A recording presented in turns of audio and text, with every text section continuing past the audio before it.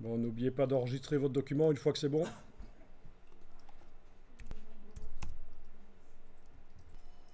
Bon, donc j'ai dit que j'allais vous montrer dans Illustrator comment on fait rapidement un logo, mais euh, pour l'instant, on va aller en chercher un sur, euh, le web. Ça ira, ça ira plus vite. Donc vous pouvez taper euh, par exemple Celtic Design.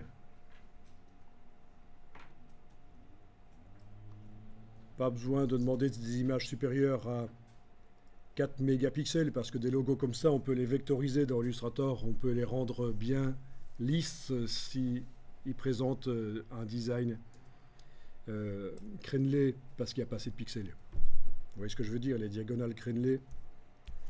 Donc, Celtic Design, c'est pas mal. Et vous prenez ce que vous voulez. C'est juste euh, pour euh, donc la démo.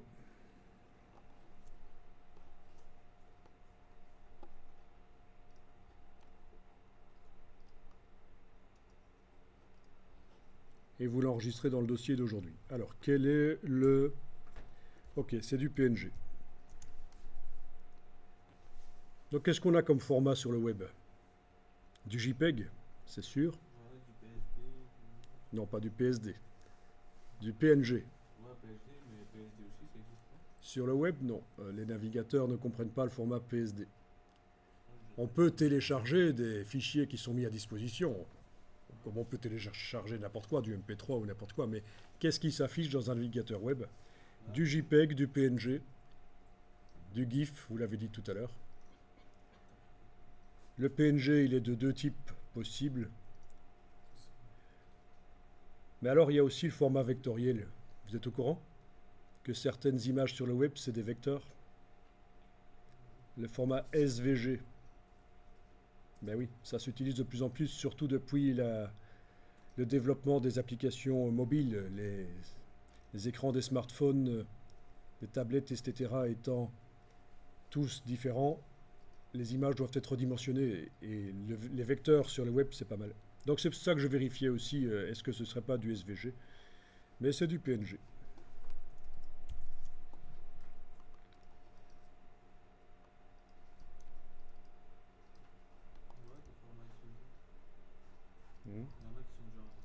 Oui, certainement. Dès qu'on commence à toucher à du logo, on tombe sur du SVG. Alors, vous allez ouvrir euh, l'image dans Photoshop. Non, parce que je voudrais vous montrer un truc nouveau. Sinon, c'est pas drôle.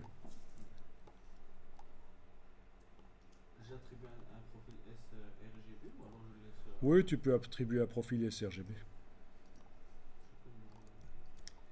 Bon. Eh bien, votre logo, euh, vous allez pouvoir le transformer en niveau de gris. Image, mode, niveau de gris. Au lieu de RVB, dans Photoshop. Supprimer les informations chromatiques. Oui, supprimer.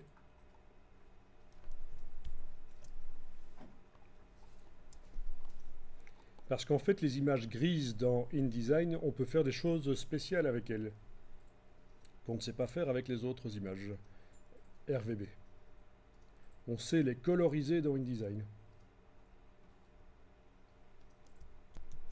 Alors, pour pouvoir coloriser une image grise dans InDesign, il faut qu'elle n'ait pas de transparence. Et mon image ici en a de la transparence. Je vois le damier de transparence.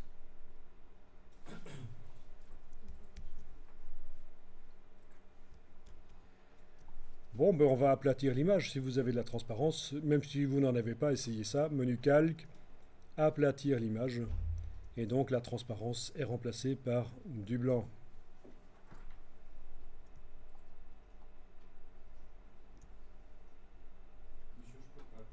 Tu n'arrives pas à aplatir l'image et tu es en niveau de gris pourtant.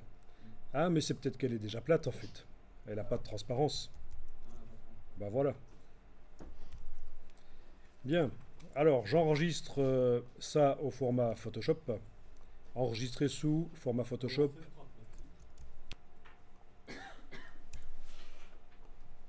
Voilà. Dans le dossier d'aujourd'hui, j'enregistre au format Photoshop. Bon. Eh bien, allons-y.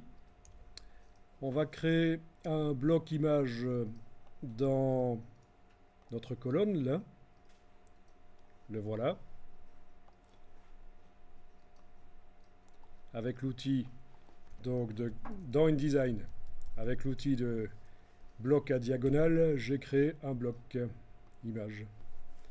Bon, vous vous souvenez que tout à l'heure, on a dû demander à InDesign de redimensionner l'image dans le bloc par menu Objet, Ajustement, Remplir le bloc proportionnellement.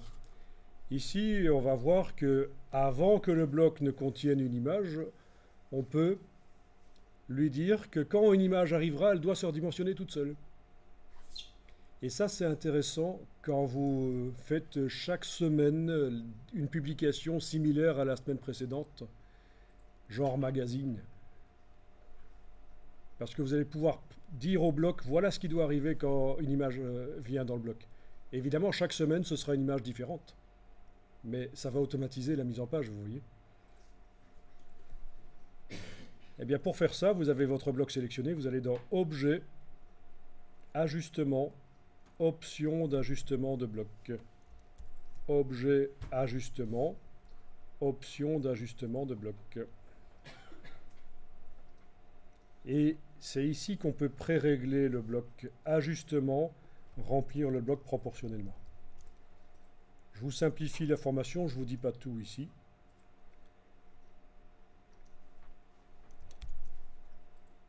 Ok, ça va Bon, rien ne se passe évidemment, mais quand je vais aller chercher l'image et la faire arriver dans le bloc, elle devrait se redimensionner toute seule. On y va. Fichier importé. Je vais chercher le motif celtique PSD. Et voilà, il s'est redimensionné tout seul.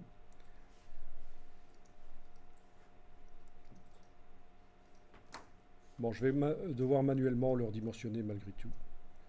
Voilà.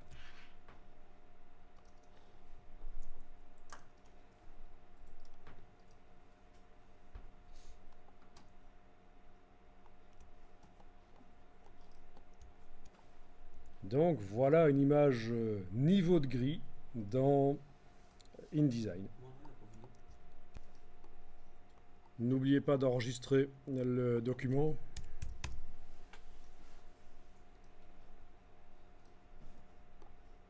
Vous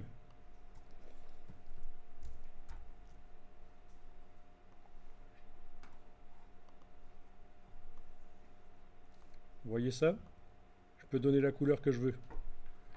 Vous double-cliquez sur le bloc de l'image, vous allez au niveau de l'image et pour le fond, il faut avoir le fond en avant-plan dans la palette des outils. Pour le fond, vous donnez la couleur que vous voulez. Ça ne marche qu'avec des images en niveau de gris. On double-clique sur l'image pour entrer au niveau du contenu. On a bien la case de fond en avant-plan et on choisit avec quoi on colorise. Ça pourrait être aussi la pipette avec la touche Alt. Je vais aller pipeter du côté de la girafe. Et voilà.